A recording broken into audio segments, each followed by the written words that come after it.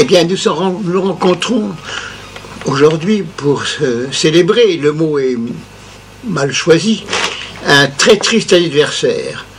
Voici dix ans, en 99, que les démocraties occidentales, euh, menées par l'Allemagne, l'Angleterre, les États-Unis et suivies par la France, ont bombardé ce qui restait d'Yougoslavie en mettant en avant le mépris complet des lois internationales sur les accords d'Helsinki, sur l'inviabilité des frontières d'abord, et ensuite sur euh, le fait de ne pas avoir fait intervenir, fait intervenir les Nations Unies, le Conseil de sécurité, et enfin d'être entré en guerre sans que les parlements euh, ne soient consultés.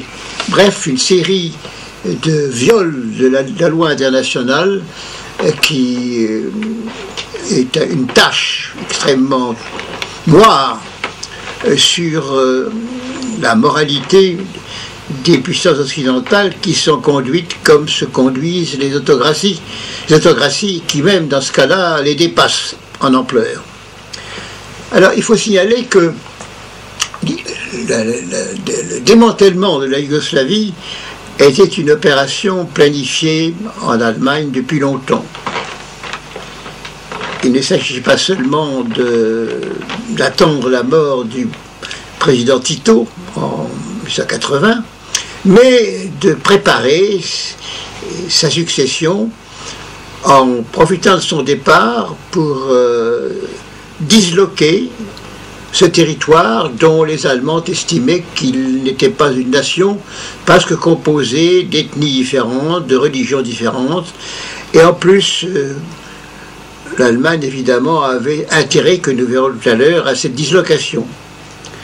Je, il se trouve que j'ai été indirectement mêlé à cela, parce que dans les années 76-77, euh, j'allais régulièrement à l'invitation de Franz Joseph Strauss, qui était moment la ministre de la Défense, puis ensuite ministre des Finances de l'Allemagne, dans une petite ferme qu'il avait aux environs de Munich, où nous réunissions euh, une dizaine d'amis pour discuter pendant deux ou trois jours des affaires du monde.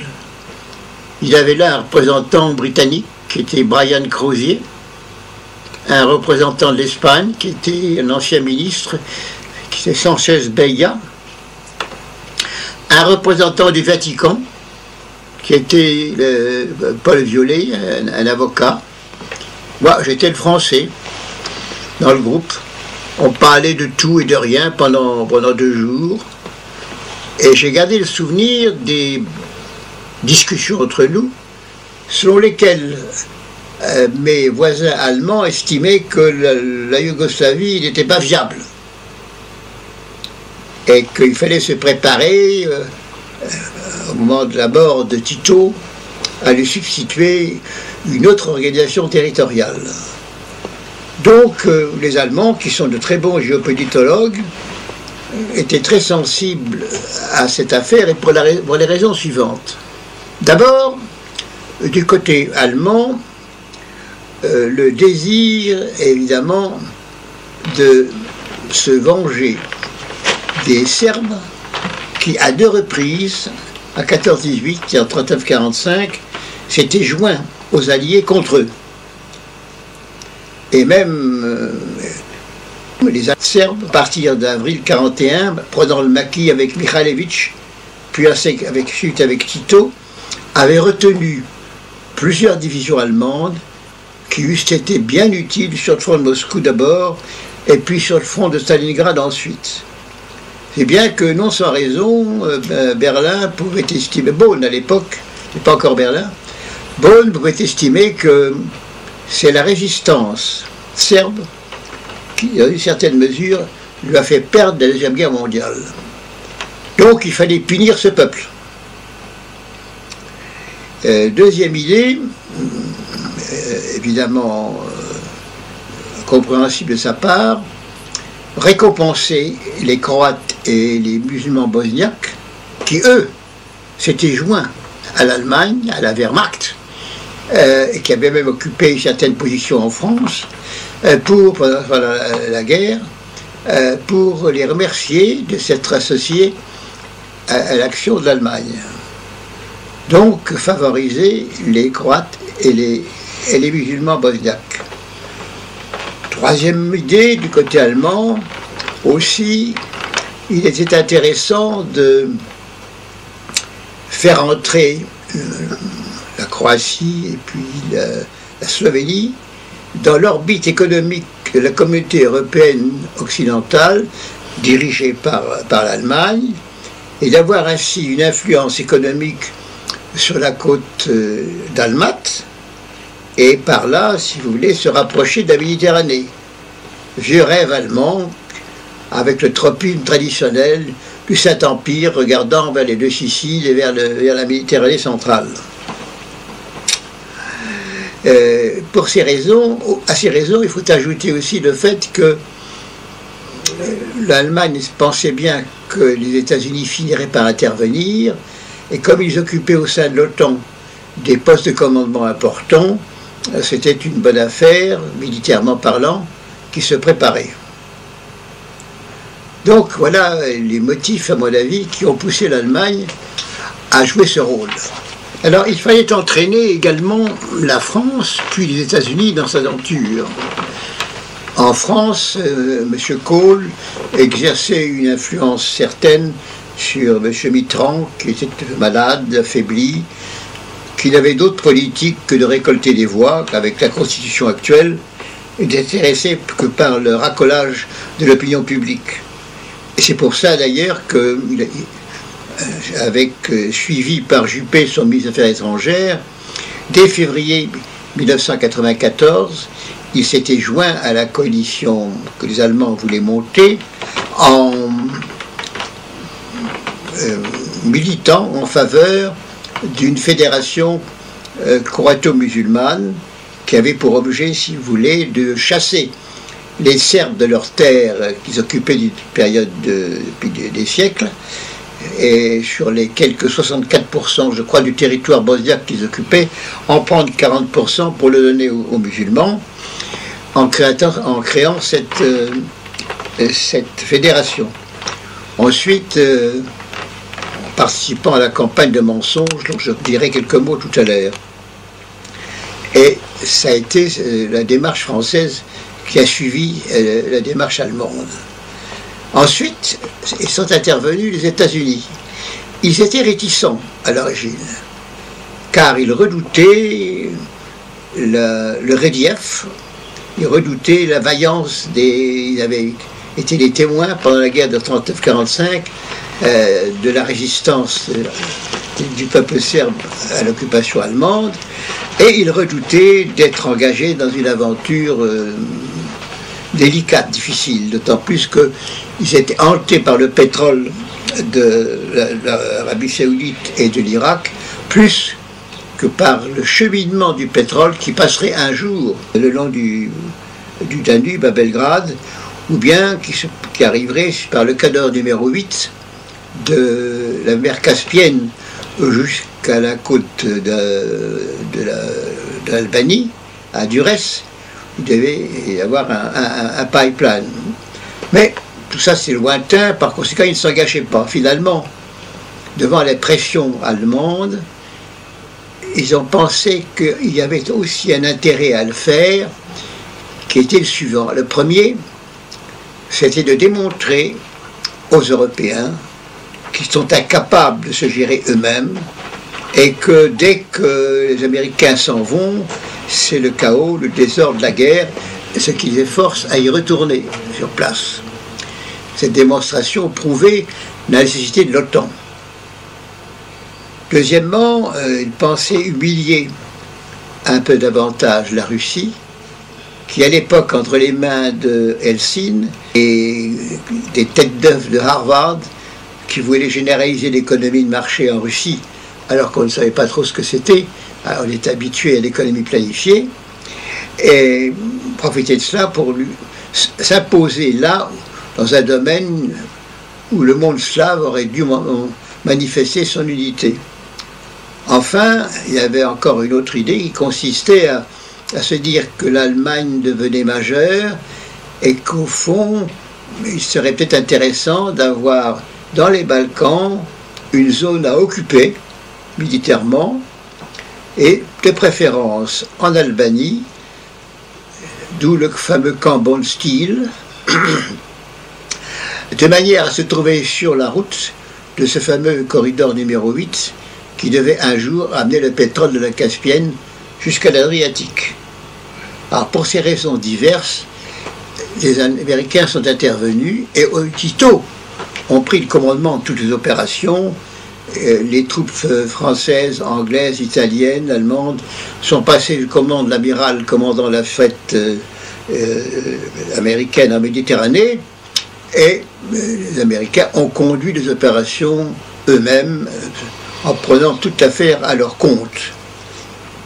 D'ailleurs, cette opération a été tout à fait significative pour eux, car au fond, elle leur a été un précédent pour la conduite des opérations ultérieures en Irak.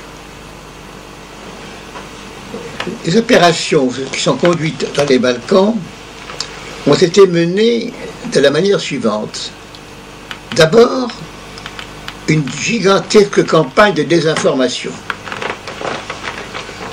Raconter les pires mensonges de manière à ce que le futur victime soit euh, fixé, euh, plutôt euh, désigné à la vindicte publique et qu'on puisse la matraquer avec l'accord général. Alors pour cela, il fallait inventer toutes sortes de méfaits. Un des premiers méfaits le plus connus a été le viol des 40 000 femmes. Finalement, l'expert américain euh, qui est venu euh, sur les Balkans, on lui a dit c'est pas 40 000, c'est 4 000, puis après c'est pas 4 000, c'était 40, puis finalement il a peut-être trouvé 4 après, une, une enquête prolongée. Euh, les inventions été nombreuses, il y a eu l'histoire de la rue Mesquine avec le bombardement qui a explosé, l'affaire du marché de Marcalais, où on a accusé à tort les Serbes, sans savoir qu'au fond, les musulmans de Sarajevo tiraient sur eux-mêmes de manière à pouvoir en accuser les Serbes du forfait. D'ailleurs, on a créé aussi le mythe suivant, la Serbie, l'armée serbe, est en train d'investir Sarajevo. Et il faut absolument faire quelque chose contre cet investissement. La ville de Sarajevo est maintenant euh, un siège qui est mené par les Serbes, ce qui était faux, car je peux en témoigner, j'y suis allé. Et j'ai été reçu dans Sarajevo par le maire de la partie serbe de la ville, qui m'a offert un déjeuner, car il y avait la ville était divisée en deux. Une partie était occupée par les bosniaques musulmans, une autre partie était occupée par les Serbes, et il y avait des échanges de coups des deux côtés. Des deux côtés. Il n'y avait donc pas un encerclement de la ville par les Serbes qui a été une invention qui, est perpétuée encore maintenant, parce que quand on lance une série de mensonges, ça reste. Et euh, ensuite, il y a eu plus tard l'histoire du massacre, du faux massacre de Ratchak, en prétendant que ce sont les Serbes qui avaient pressé, alors que ce n'était pas vrai. Mais ça donnait un prétexte pour commencer les bombardements, passer à l'action, bombarder par la voie des airs ce malheureux pays, y compris la population civile, utiliser des armes à, euh, uranium appauvri pour euh, sans tenir compte des conséquences ultérieures de cette opération. Bref, faire de ce peuple un peuple martyr. Et tout ça a été conduit euh, dans les règles. D'abord, premièrement, on traite extrêmement mal en, en, accusant le peuple de tous les méfaits. Deuxièmement, on lui crée un blocus économique pour affaiblir sa volonté de résistance. C'est ce qui s'est passé. Ensuite, on le bombarde de manière à ce qu'il ne puisse pas récupérer économiquement en détruisant son appareil économique. Enfin, on l'occupe, comme on a voulu le faire après les accords de Rambouillet, totalement. Et euh, une fois sur place, on profite de la misère dans laquelle ce peuple a été plongé pour exiger qu'il nomme des dirigeants favorables à la cause des agresseurs. Le système comprenant quatre parties qui ont été exécutées sciemment, intelligemment, les unes après les autres, et dont une partie a été utilisée plus tard en Irak. Donc on peut dire aussi que l'affaire des Balkans a été pour les Américains une leçon, entre guillemets, de stratégie pour les affaires irakiennes. S'est terminé en Irak avec euh, les bombardements que vous savez, les excès que vous savez, les tortures, la Ghraib et la prison euh, avec les mauvais traitements. Tout cela a été, au fond, expérimenté une certaine mesure dans les Balkans au, profit des Occidentaux qui se sont conduits dans ces deux affaires, comme se sont conduits certaines autocraties avec Staline d'une part ou avec Hitler de l'autre. Alors ça, c'est une, opération qui m'a beaucoup frappé parce que elle a été une sorte de modèle qui a été finalement entériné par les opinions publiques auxquelles on a raconté toutes sortes d'histoires, auxquelles on a, comme on dit aujourd'hui, bourré le crâne, par une puissante désinformation qui permettait ces excès de toute nature. Alors aujourd'hui, on se retourne sur triste décennie, au cours de laquelle les Européens ont montré qu'ils étaient capables de s'entretuer, si je puis dire, pour une large part à l'initiative de l'Allemagne d'ailleurs, qui, à peine réunifiée, en 90-91, après l'effondrement de l'Union soviétique, euh, n'a pas trouvé de meilleure solution que d'agencer euh, cette fameuse guerre. D'ailleurs, en 99, monsieur, après les accords de Dayton et surtout après le refus de Milosevic d'accepter l'ex B, qui prévoyait l'occupation pour une période indéterminée par les troupes de l'OTAN du territoire serbe qui devaient fournir à l'occupant toutes ces facilités, aérodromes, chemins de fer, voies ferrées, routes, etc., gratuitement. Bref, hein, euh, comme si la Serbie avait été piétinée, si je puis dire. Et c'est tout à l'honneur de Milosevic que d'avoir refusé, même si cela a entraîné que la comédie de Rambouillet s'est terminée par euh, les fameux bombardements. Et cette époque, c'est cette période, triste période, euh, aujourd'hui, vers laquelle aujourd'hui nous nous tournons avec une très grande tristesse. Car le monde occidental, alors qu'on ne s'y attendait pas du tout, a démontré que lui aussi était capable des pires perversités pour substituer,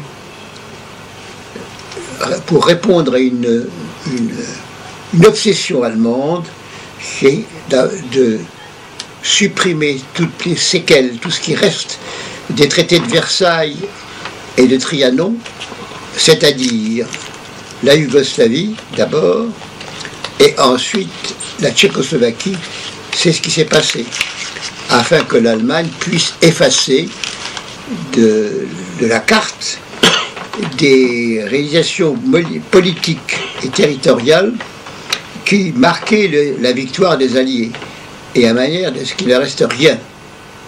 Et la France, sottement, s'est associée.